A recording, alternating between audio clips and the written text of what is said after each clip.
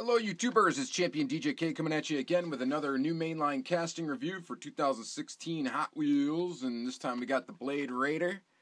And here it is. There's your Blade Raider. A little focus here.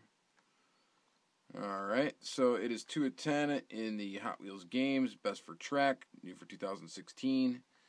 There's your Hot Wheels games kind of logo there kind of a nod to the Olympics, I'm sure.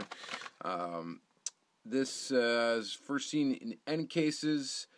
Uh, 600 horsepower delivered by a low flat 8 to all four wheels plus an oversized rear wing keeps this buggy on track when there's no track to be found. Intense front fog LEDs light the off road way through the long desert nights to rally raid glory. Alright, so let's take it out. Check out what we got here. So, metal body, plastic base. You got these big tires. This thing probably cooks down the track pretty quick. Um, tampos on the top, sides, red little windshield area. I don't know what else really much to say to this. Uh, there's a guy playing. There's a guy shooting a bow and arrow right there. Looks like. So there's that. Um, let's take a quick look under the macro. Get up nice and close to the tampos. Check them out real quick. So there's that. There's your Hot Wheels Games logo thing.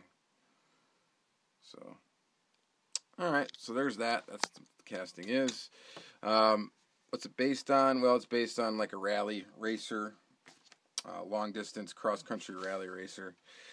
So I just included some pictures here of some uh, buggies that look like it. That's pretty cool. Beetle there. Pretty awesome.